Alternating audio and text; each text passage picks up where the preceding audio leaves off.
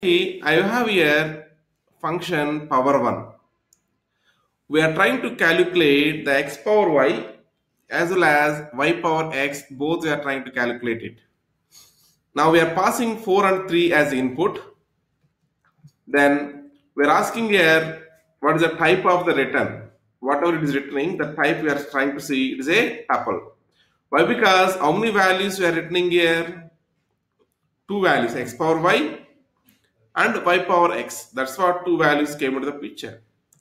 And if we want to unpack it, we know now how to unpack it and we're able to see the result. Right?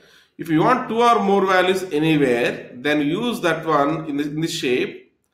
Automatically, system will return not the values directly, it will return tuple. Once you have the tuple in your hand, you have to unpack it to get the values. Okay, this is a tuple object. This is a tuple object, whatever we are getting, that we are unpacking and we are getting the values. Any questions? Any questions, folks? If you are keeping your brackets or if you're not keeping the brackets also, it's working Okay, right with this we completed the second lesson in the uh, functions. First lesson is system defined functions. Second lesson is user defined functions. Both we completed. Now let us move on to the next lesson. That is can you please explain? Uh-huh. Excuse me sir. Yeah. Can you please explain me like uh, uh, the use case of the tuple? Because i i, I did not hear that. Like i did not I went out for a few minutes, so I No. missed that. And so you tell me how many values you are trying to return here yes, how many values are trying to return? two values x two values right? Two values trying to return. The two values function cannot return uh, as is. So it is returning only one thing that is a tuple it is returning tuple object it is returning because any function return only one.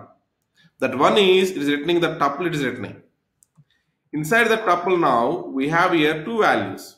That we are trying to do here unpack we are doing here. That we are trying to unpack we are doing.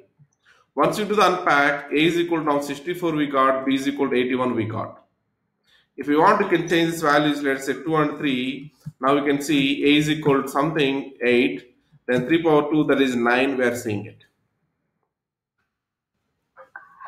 Uh, can you please, uh, yeah, can you please type there a underscore tuple one, mm, tuple two?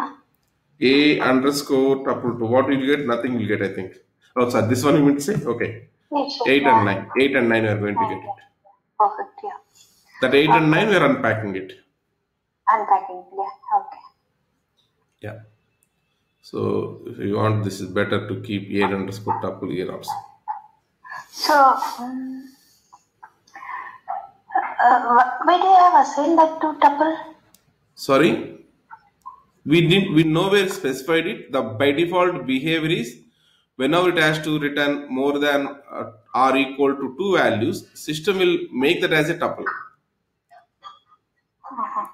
nowhere is specified return tuple like that more Yeah. than more than or equal to two values it has to return you'll keep inside the tuple that is the beha- default behavior of the function Yeah. Right.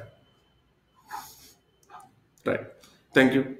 Now let us move on to the default and flexible arguments.